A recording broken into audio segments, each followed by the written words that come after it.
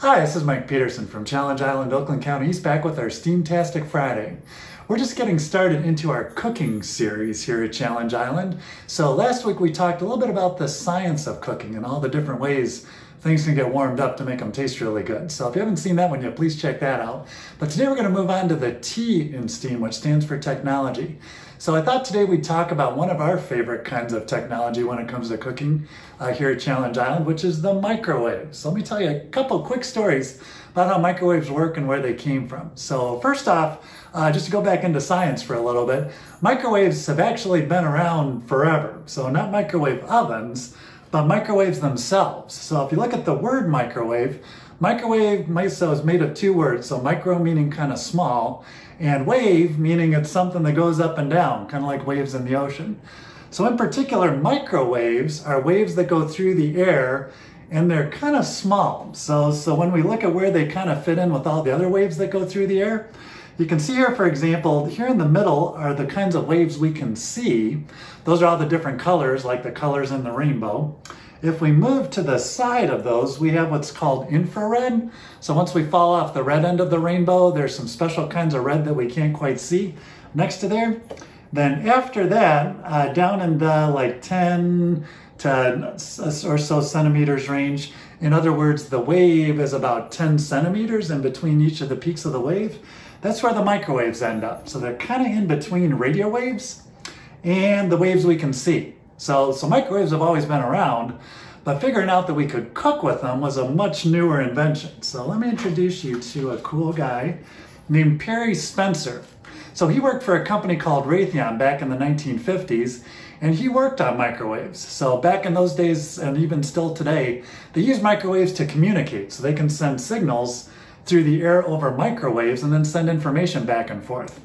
Well, one day Percy was working at his microwave station and he had a candy bar in his pocket. So when he realized when he got close to the microwave, his candy bar melted. So that got him thinking, hmm, I wonder what caused my candy bar to melt. So he started doing some experimenting with the microwaves coming out of his, of his radar dish that he had there.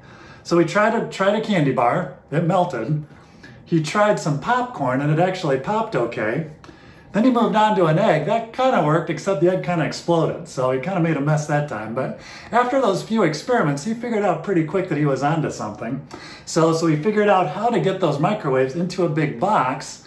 And that's what became our microwave of today. So you can see this one here from the 50s. It's a little bit bigger than they are today. So today they're a little more compact, a little easier to fit into your kitchen.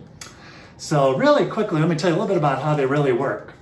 So it comes down to a little bit of chemistry and a little bit of microwaves working together. So what a microwave does is that the waves go into the food. They can get into about an inch or an inch and a half of the food. They can't go all the way through it because they're not that quite, quite that strong. But what they do is they go into the food and they start hitting the water molecules in food. So if you think about it, pretty much any kind of food, unless it's really, really dry, is going to have some water in it. So the water molecules, they're made of two hydrogens and an oxygen molecule, so or the oxygen atom. So kind of like a Mickey Mouse when you look at it. Now the hydrogens, they have kind of a positive charge to them, so that's why we put the plus on the hydrogen side. And the oxygens have kind of a negative charge on them. So that means it's kind of, that's what we call a dipole. So it's kind of positive at one end, negative at the other end.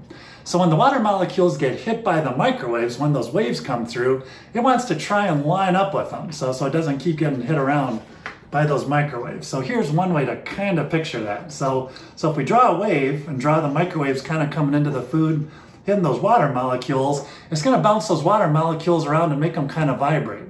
So when they do that, when it vibrates, that releases some energy, which creates heat, which causes the stuff to warm up inside your microwave. So, so basically what they did when they made the microwave, just to show you a really basic one here, so if you look inside your microwave, you'll usually see on one side of it, there's a, like a special box or some special, special grills in there.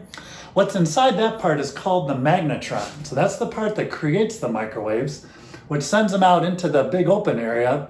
And then whatever's in there that's got water in it, so any kind of food, all those water molecules start bouncing around and then they heat up and that heats up the food.